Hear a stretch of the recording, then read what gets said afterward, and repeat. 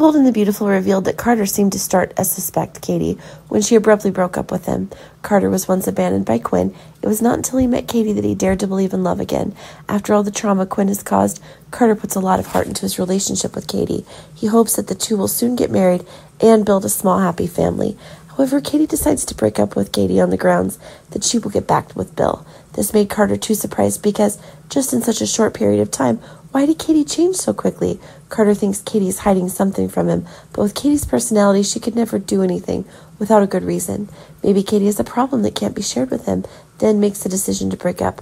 Carter will want to find out what the real cause is. Maybe Carter will soon find out that Katie is suffering from cancer. Katie's health is not good in the past. Thanks to a heart and kidney donor for Katie, she's survived until today. Katie regularly visits the hospital for regular checkups, and this time the doctor informed Katie that she's suffering from cancer. That's why Katie decided to break up with Carter. Carter asked Bridget to talk to this about Katie's breakup, so he knew about it. Bridget confessed that Katie had cancer and would live no more than six months. This news made Carter very sad, but he immediately understood why Katie had changed so quickly. Katie also has a son shared between her and Bill. Katie's certainly worried that when she dies, Will will have no one to take care of. So, will she go back to Bill so that later Bill will take care of him more? The time Katie was still alive was not much. Before that, she wanted to keep a fam- happy family moment for her son. Even though Sheila has left Deacon's house, he still doesn't worry one bit. Previously, Sheila lived with Deacon during a time when everyone thought Sheila was dead, but in fact, Sheila's still alive and just hiding.